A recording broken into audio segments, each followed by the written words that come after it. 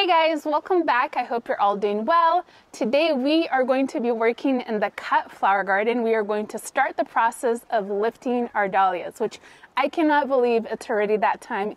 It felt like it was just summer and then we quickly had our first frost a couple of nights ago, which kind of sucked because I was waiting for my mom to arrive. She just moved here from Brazil a couple of days ago and I was hoping that she'd get to see how beautiful they were looking, but she just missed it by a day, but at least I cut her some blooms and she's enjoying those in her room right now. But she and I actually came out here and we started to cut down the dahlias. I'll show you that. We're going to just work on lifting some of them up today. I'll show you my process. We'll talk a little bit about storing your dahlias. I've done detailed videos on both processes, which I will link down below in the description box. And then we'll do a separate video on dividing, which can be a little bit daunting if you're new to it, but it's not scary. I promise I'll walk you through the whole process. None of this should be scary for you. You're going to do great. I have confidence in you. You've got this. It's I know it's a little bit like scary the first year you do it, but anyways, I like to lift my dahlias up every year even though technically I can leave them in the ground because I like to rotate them through. I like to give away the tubers, the ones that I have too many of, which you know, you can really never really have too many dahlias in my opinion. But anyway, so I'm going to show you what you're going to need today just for the lifting. I'll show you a little bit about storing them and then we'll, again, we'll focus on dividing them on a whole separate video. So let's just jump right in. These are the tools that I have in my dahlia digging toolbox, as I like to call it. I use pruners, loppers, and a pitchfork. I like to use this little small pitchfork. We do have a big one. I just feel like I have more control with this little guy. Loppers you can use when you have the thicker stalks where your pruners just can't get around. So this is a handy tool to have. And then pruners, because you're going to be cutting them down, it's going to make lifting a lot easier once you begin. Now, before you get into digging up your dahlias, a lot of you ask, do I have to dig up my dahlias? And the answer is no. If you live in zones eight or above, you're safe to leave them in the ground. However, I do recommend you cover them with tarp, use some mulch, leaf mulch, something to insulate them on top of the tarp or underneath the tarp. And that should keep them safe all season long. I have a quick video um, that I filmed last year of me I think, yeah, it was my neighbor's dahlias. I went ahead and we overwintered them in the ground. They came back beautifully. I will say the years that I have left our dahlias in the ground, they do come back stronger. They come back bigger. They are the first ones to bloom. So there is a benefit to that. However, I like to rotate my dahlias every year. I, are some that I grow that I'm like, uh, I love you, but Mm, I'm going to move you either to the landscape or I'm going to give more of them away and maybe just not grow as much of that of that one specific variety that I didn't love. So there's just, you know, benefits to both.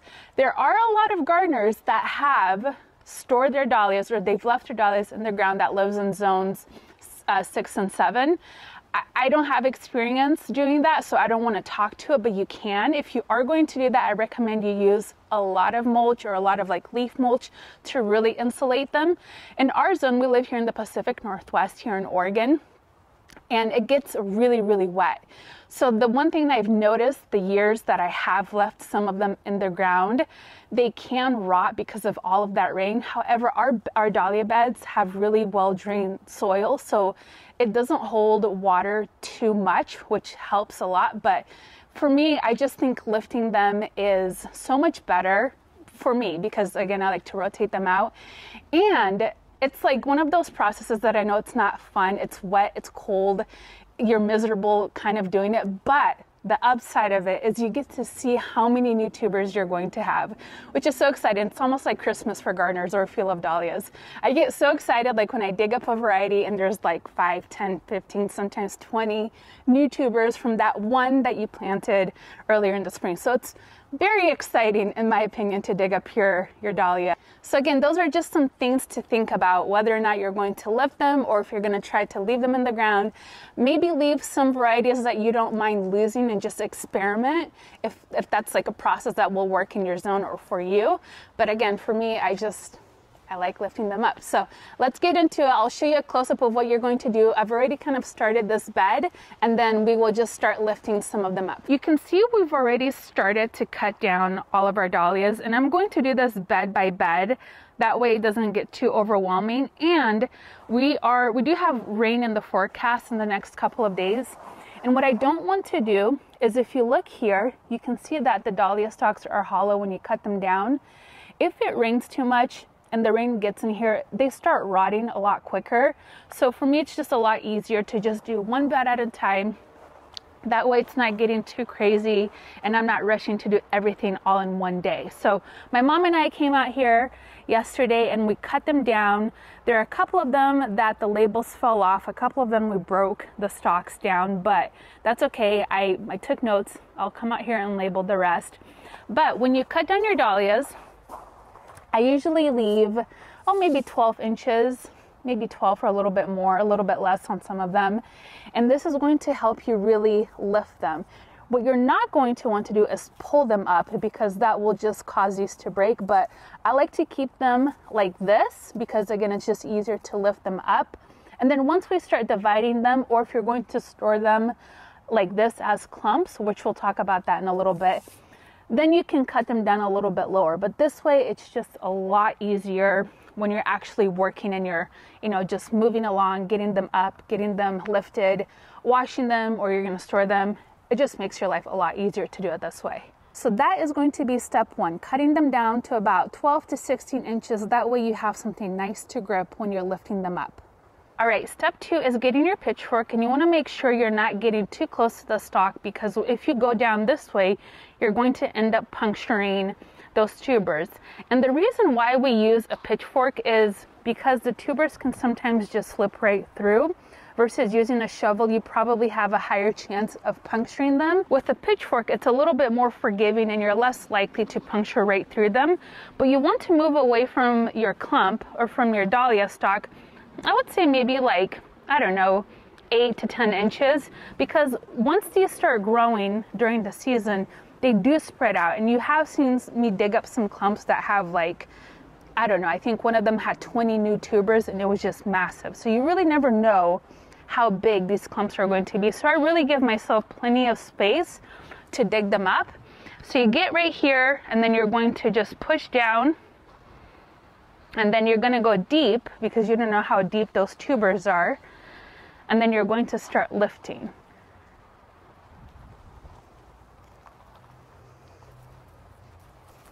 And I start shaking the soil off just a little bit like that. Perfect. So that kind of gives me a little bit of a starting point. And then I move some of the soil away. Oh, look, I can start to see them. And then that's when I come in, shake it off. Oh, this one's heavy. Oh, this one didn't form too many. This one's polka. And there you go. You see? So there is our first official clump of the season. You'll notice this, this big one, that is going to be the mother tuber. That is the one you planted, and all of these little guys are the babies she just made.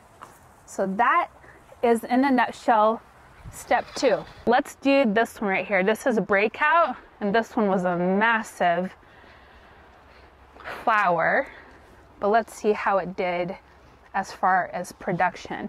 And sometimes you might need to go around a couple of times to really get in there. And there will be instances that you puncture those tubers and you break them off, and it's okay. It's sad, but it's just kind of the name of the game. Oh, yeah.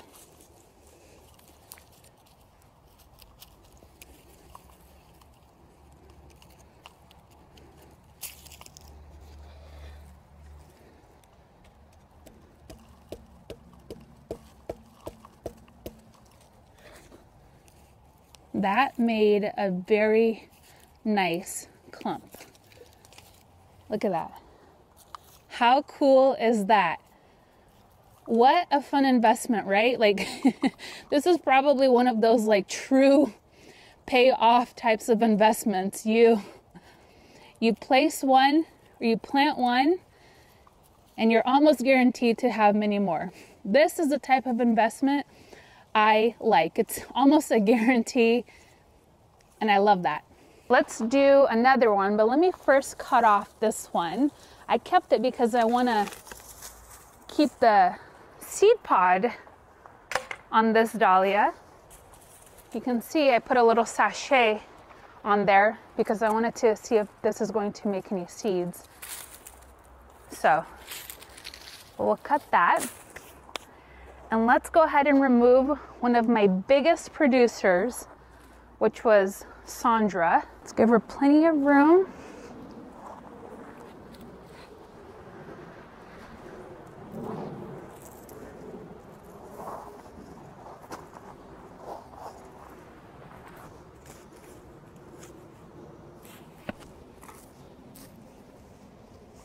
Wait, she's making us work for it. Let me go on the other side.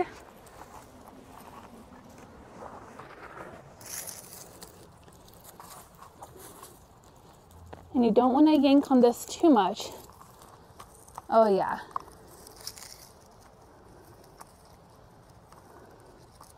That looks good. Very good. Oh, these tubers are so beautiful. I love it. All right, let's do another one. All right, this one was Sweet Sane or San probably my favorite this year. Let's see how she looks.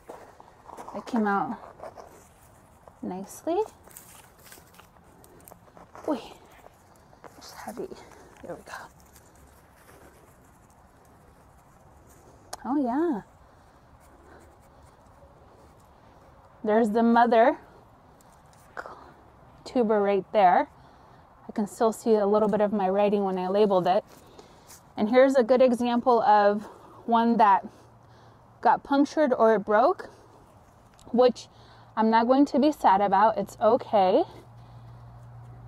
What I will do is when I'm dividing this, oh, you know what? This looks just like a feeder. Yeah, this is a feeder tuber anyway, so I'm not worried about it. A feeder tuber is usually a tuber that is attached to another tuber. So, like, here's a good example of one you see how this is one tuber and then it has this feeder tuber.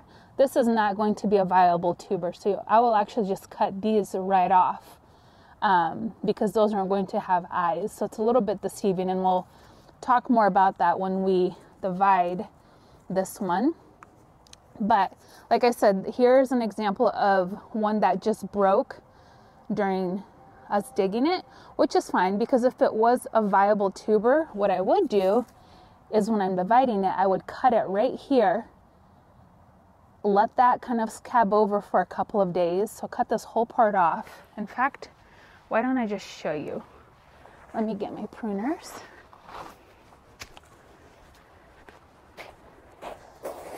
So I would take my clean pruners.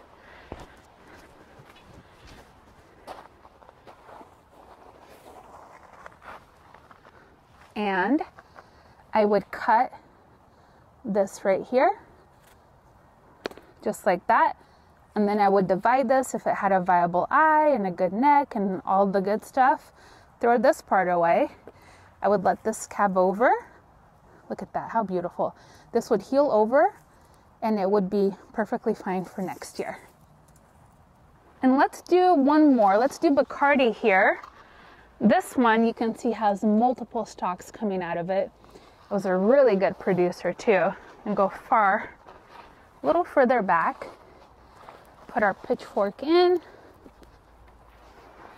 Ooh. It's always exciting because you just don't know what you're gonna what you're gonna have. It's like Christmas. Make sure we don't lose that little tag. Oh yeah. That feels really nice. But Let's see what that looks like. And I try to remove as much of the soil as I can before I take it to my wash station. Just a little bit less of a mess that way. So this one I can tell made a lot of skinny little tubers as you can see. So when I divide this, I may just divide it into a few little clumps instead of individual little tubers.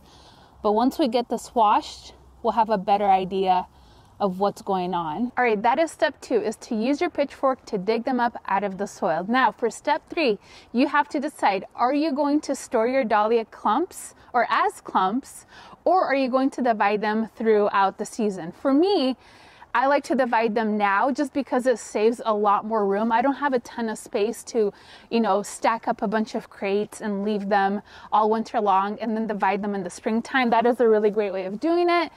In that case, I'll show you what to do. But for me, again, I just like to divide them and I'll show you what I do next before I do that. But if you are going to store them, and then you're going to divide them in the springtime. The upside of doing that is that the eyes become more visible, so it's easier to divide.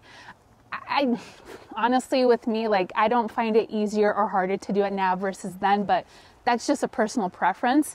And if you have the space to leave them as clumps, great, you can totally do that. But for me, I like to divide them. So if you are going to store them as clumps, you are okay to leave a little bit of soil on there. So I'll show you what that looks like. So here's a good example. If you're going to store this as a clump, I would just continue removing a little bit more of the soil around these roots here, I would probably cut these roots off. I'll show you that. And then you can store them in a crate and I'll show you that in a minute. However, if you're going to divide them, then I recommend washing all of the soil off. That's just going to make dividing them a lot easier because, because you're going to be able to see the eyes.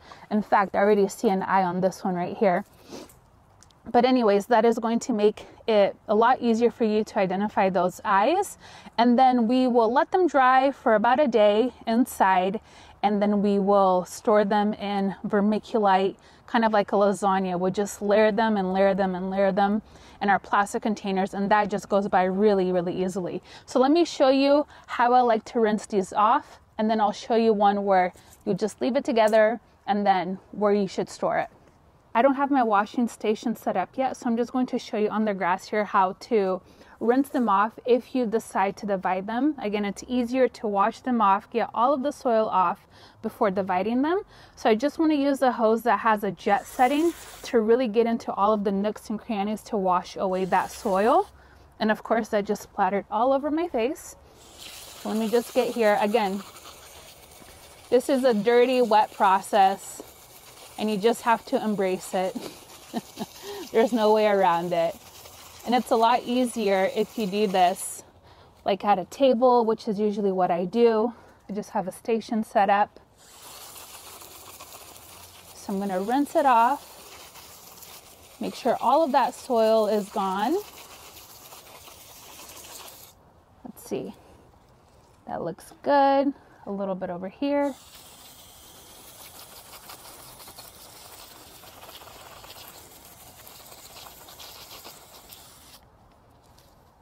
Perfect, just like that. You see how clean and cute she looks? Next, I'm just going to cut down the stalk a little bit more, just like that. And even maybe just a little bit more. And there you go. So this one is going to be ready to divide. I'll probably just let it dry inside for the next 24 hours before I start dividing it. You can start dividing it now. Now you want to make sure you don't leave these outside. Your clumps or your tubers have to be stored in an area that stays between 40 and 50 degrees. A lot of people make the mistake of putting them in their garage floor. What happens is the concrete fluctuates in temperature throughout the day, throughout the night. So that's not the best place to store it. I'm going to put ours in our, probably in our dining room, line the floor with painter's paper, put them there, let them dry, and then just take them one by one as I'm dividing them. And then once I decide to store them, or once I divide them, I'll store them in an area that stays between 40 and 50 degrees. Humidity is also important. Ideally, want to keep them in the area that stays a minimum of 70% humidity. To be honest, I never check. I check on my tubers every few weeks as I'm storing them, but if you have a way to control your humidity between 70 and 90, that's ideal for them. But again, I don't I don't do any of that. I just I go with my heart. I check on them. I never have a problem, and that's pretty much the process that I like to take. Now, I will say if you by accident leave them out, which I've done before, which most of the time they're not going to survive, and you come to them and you feel that the tubers are rubbery and soft, then they're probably gone. And you can check to see if you cut into the tuber and you see that they're translucent inside, then you know you've already lost them. This one over here has a little bit of rot, so I'm going to cut it off. We'll talk about cutting all of this stuff off when we do our dividing video. But if I were to cut this off, you're going to see that it should look nice and solid inside. Where if you have one that you accidentally left out, it's going to be a lot more translucent and you know it's not going to be a viable tuber anymore. So this is the way I would do it if you're going to plan on dividing them now. Even if you're going to store them, you can wash them, although it's just not super necessary. But you can totally do that, especially if you have a lot of soil around because there could be some bugs and it could stay moist and nobody wants, you know, moisture in there when you're storing them. You want to keep them relatively dry and just make sure that you're doing everything to prevent any rot while they're being stored. If you're going to store your dahlias as clumps, what I like to do is take a crate like this. I line it with newspaper or packing paper, whatever you have. And then I pour in my vermiculite like this. Ooh,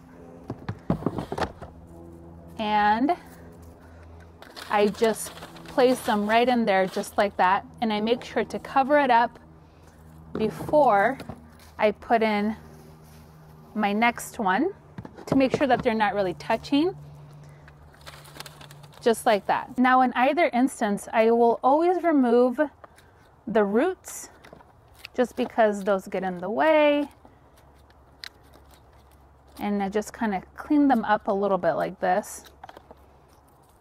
And again, I will also cut them down even further if I'm storing them as clumps to make sure we don't lose our tag here. And as clumps, I'll go ahead and just fill this whole crate up, fill it up with vermiculite. That's the material I like to use the most. Cover it up and keep it in an area, again, that stays between 40 and 50 degrees Fahrenheit. Again, vermiculite is the medium that I like to use to store our tubers. You can also use peat moss, although I don't think I've ever used peat moss before to store our dahlias. I don't think I have. I just I'm not a fan of it. I like the vermiculite that works the best for me. You can also use wood shavings, which you can get the big bales of it at any feed store. I've talked a little bit about that in a previous video. The only thing with the wood shaving is it's a little bit drier, but it totally works if that's like the only thing you can get your hands onto because I know vermiculite, especially the fine stuff that we're using, is a little bit tricky to get sometimes in the year. So wood shavings work just as fine. Again, we'll keep them in an area that stays between 40 and 50 degrees Fahrenheit, whether it's going to be in the crates or you know you're going to keep them divided in different containers. Again what i'll do is i'll do a layer of vermiculite. I'll divide my tubers. I'll put a layer in of the tubers. I'll do another layer of vermiculite another layer of the tubers so it's like a lasagna it works really well and I'll just store them with the lids on the containers. If I see a little bit of condensation, I'll lift the lids off, but I check on the tubers pretty often. I am going to run an experiment this year and store some of them in our shed. I will get a digital thermometer that connects through my phone so I can keep track of the temperature in there. If it gets too cold, I can bring them inside, but we're running out of space inside the house. I'm trying to be creative of where I store them. You can also store them in the attic. That's another great place. Again, just keep that temperature range in mind. If you have a root cellar, great, like great for you. I love that for you because that is the best place to store dahlias because you you can control the temperature, you can control the humidity. I don't have any of that stuff right now, so I just kind of make with what I have and it works just as fine. So you don't need anything fancy to do this, but if you do have a root cellar, that's great. I love that for you. but we don't. So anyways, that is step 3. We will get into all of the nitty gritty stuff about dividing dahlias and storing them after we divide them as well. But if you have any questions between now and our next video, make sure you leave them in the comment sections. That way I can answer them in that next video where we really get into dividing them. But as far as digging them up, storing them now, you have all of the tools. I gave you all of the tips and tricks. You got this. Like I am confident in your ability to do this.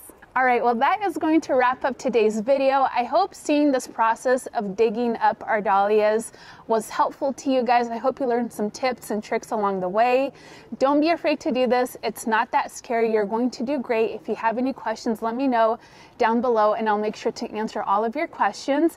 But it's just nice to get out here and start doing this because I usually wait later in the season to really get into it and it's always miserable because again it rains all of the time here. And then i'm just out here in the rain in the cold like asking myself why did i wait for so long? Why didn't i do it on those beautiful dry sunny days? So it's just nice to get this done. We'll start working on the other beds as soon as we wrap up the first one so it doesn't get too overwhelming and too crazy inside the house where we're going to keep them until i start dividing them. So anyways thank you guys so much for hanging out with me today in the garden and i'll see you guys next time. Bye bye my mom's out here helping me with the dahlias. We had our frost. Yeah, so got sad. a job. My mom just landed from Brazil. I have to do this and the, yep. like that. Uh huh. And like that. Yep. Okay. I will. we gotta get her proper garden clothes. You see how good I am? Uh huh. Oh. You're great.